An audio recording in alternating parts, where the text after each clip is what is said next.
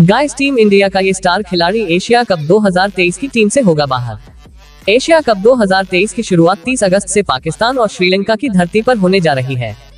Asia cup 2023 से पहले एक चौंकाने वाली अपडेट सामने आ रही है। दरअसल टीम इंडिया के एक स्टार खिलाड़ी को एशिया कप 2023 टीम से बाहर किया जा सकता है। एक रिपोर्ट में इस मामले को लेकर बड़ा खुलासा हुआ है। आपको बता दें कि एशिया कप 2023 30 अगस्त से 17 सितंबर तक पाकिस्तान और श्रीलंका की मेजबानी में खेला जाएगा। टूर्नामेंट में छह टीमें हिस्सा लेंगी। कुल तेरह मैच खेले जाएँगे। विकेट कीपर बल्लेबाज संजू सैमसन को एशिया कप 2023 की टीम से बाहर किया जा सकता है।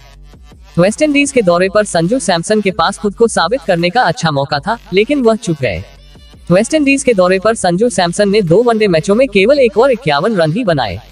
संजू सैमसन की सबसे बड़ी कमज़ोरी ये रही है कि वह एक मैच में अच्छा प्रदर्शन करते हैं और इसके बाद अगले पाँच मैचों में फ्लॉप हो जाते हैं। वेस्ट इंडीज के दौरे पर वनडे सीरीज़ के बाद खेली गई टी बीस इंटरनेशनल सीरीज़ में भी संजू सैमसन फ़र्स्ट नज़र आए।